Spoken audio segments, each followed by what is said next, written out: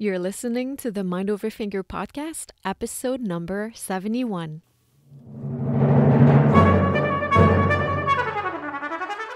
Welcome to the Mind Over Finger podcast discussions on mindful music making, efficient practice, and building a purposeful career. And now, your host, Dr. Renée-Paule Gauthier.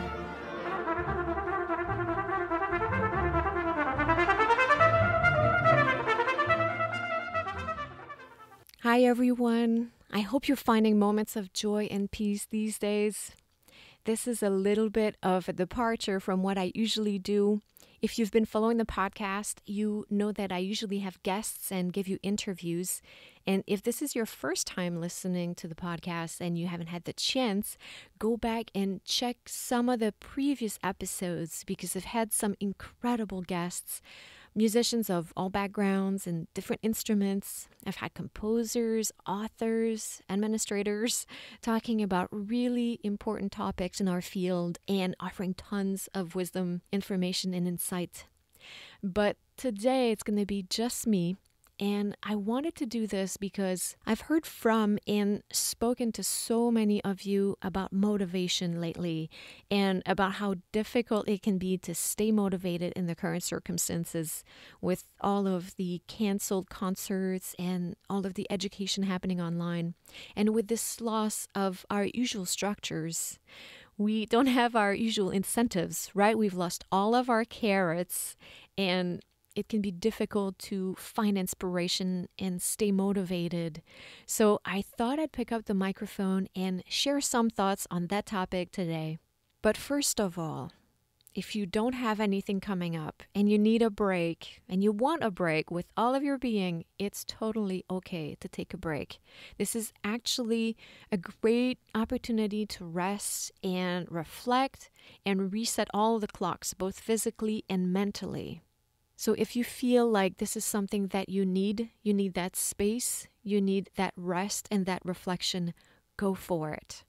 Of course, that could come with some loss or temporary decrease in your agility on the instrument, but getting back in shape is something that can be done. It's done all the time. So if you feel that need, do it. But if the idea of taking a break goes against what you want and it creates a lot of stress for you, then there are some strategies that you can adopt in order to get the wheels turning. First thing is, I think, distinguishing have to practice versus should practice versus want to practice. These days, we have fewer urgent have to practice, and the shoulds are rarely super efficient in getting us in the practice room and in the proper mindset to do good work day after day. So I'd really focus on the want to. So I'd say one of the first thing is to find exciting goals. And those can be related to things that are coming up in the future, recitals, auditions, but they can also simply be learning a piece you've always wanted to learn or working on some technical aspect you've wanted to improve for a long time. It doesn't matter what it is, but taking the time to really think about a goal that's going to make you want to get the instrument out every day is a great place to start. One thing I'll caution you against, though, is to think too big. You want it exciting, challenging, yes, but not so much that you'll get discouraged by the undertaking of a huge goal within a day or two.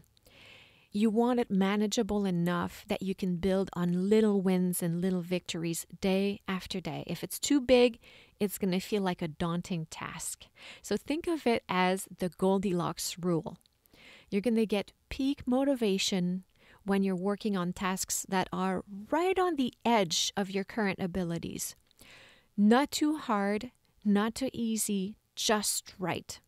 It stretches you, but you can succeed with some consistency and some good work. So now that's motivating. You also want to think about easing into it. You can't just step outside in your running shoes and run a marathon if you've never run a day in your life. So think about it as the couch potato to 5K approach. You want to start little by little every day inconsistently, and you'll get there. The second thing is what I call the cycle of motivation. And the most important thing to realize about the cycle of motivation is that it starts with action. We often think that it starts with motivation, but actually, what happens is that by taking action, we get results, and that creates motivation. This motivation then makes us want to take more actions, and we get more results, and we become even more motivated. So don't make the mistake to wait until you feel motivated to practice, but really know that it's by you taking the instrument out, taking action, that will get this cycle going. One thing that really helps me with that is the strategy I call commit to 10. So commit to walking in the practice room, taking out your instrument, and working on something for 10 minutes. Then, if you don't feel like practicing, you have permission to walk away. But just go in there and tell yourself 10 minutes. And it could be a simple warm up or improvisation or playing through a piece that you really love. Give yourself 10 minutes of just spending some time with your instruments. And I can almost guarantee that after 10 minutes, you'll feel interested and you'll want to keep playing. The third thing about motivation is that you want to make the work itself interesting and enjoyable. That begins with knowing yourself, what you like, and how you learn. So you can really, first of all, know what gets you in the practice room. Is there a specific time of day that works best for you? Understanding when you do your best work can be crucial in doing some good work and therefore stay motivated. Also, how about implementing a schedule? Or do you work better when things flow more organically throughout the day? I know that for me, if I schedule it, there's a much greater chance it's going to happen. So if you struggle with motivation and you feel a little bit aimless throughout the day, maybe try scheduling your day and see what that feels like. For me, another thing that helps is creating a precise plan of what I'll practice that day, what I'd like to fix, and how I might do that. For sure, things can change a bit and we adapt, but to have some sort of plan to begin with makes a big difference for me. It doesn't have to be granular, but a general guiding line really helps. Another thing is accountability. If you're someone who does well when you know that someone is expecting something from you, how about putting some systems in place or maybe enlist an accountability team as an incentive to get in the practice room? Or maybe you're someone who responds well to rewards. So, what would be a great treat at the end of a practice session or a week of consistent practice? But don't forget that knowing that you're getting in really good shape on your instrument and that you're gaining awesome new skills is already a great reward in itself. Another thing about knowing yourself is that you can figure out way to make it fun and enjoyable. You can turn your practice into a game. You can create challenges for yourself. You can get as creative in your problem solving as possible. All of those things make practicing interesting. And when you're interested, you're present, you're focused, and you get results. And that all contributes to this cycle of motivation. Another thing is to make practicing meaningful. Do you know why you're playing music? What do you love about it? What does it bring in your life? And what does it do in other people's lives? So, keeping these things in mind is another thing that will get you in the practice room and keep you there. Another thing I want to talk about is patience. Be patient. When you try to skip steps, it only leads to disappointment and therefore less motivation. So, really make your practice about the process. Mastery on an instrument is all about the process when we're really focused on being present and mindful in the practice room, and we really enjoy this process, we start to see really amazing results. So be patient with yourself and also cultivate some self compassion. When you're very understanding and self compassionate, you are more objective, you're more able to solve problems, and when you cut yourself some slack, if things aren't perfect that day or in that practice session, that gives you the ability and the motivation to keep going. So, in a nutshell, it really comes down to three things having clarity on what you want, taking consistent action, and having strategies.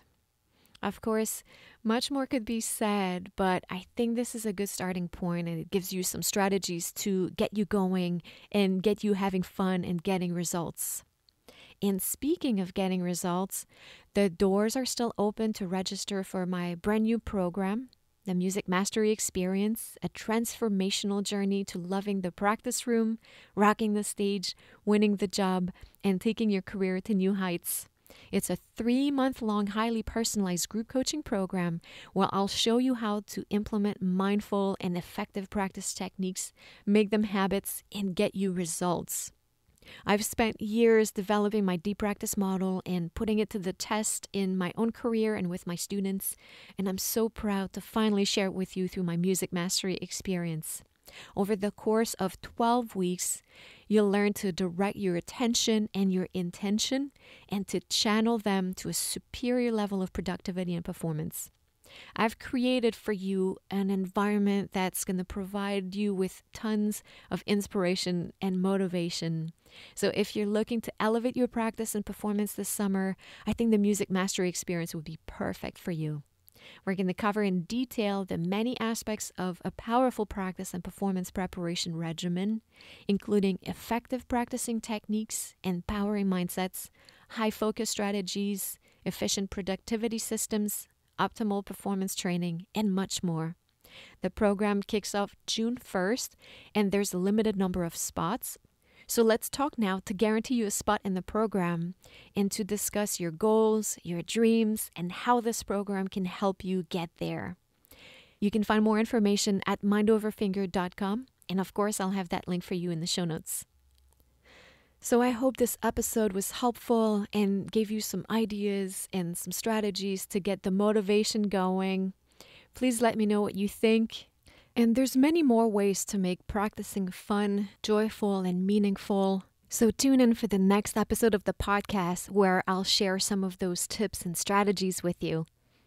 You can also check out the Mind Over Finger tribe where I discuss these topics frequently.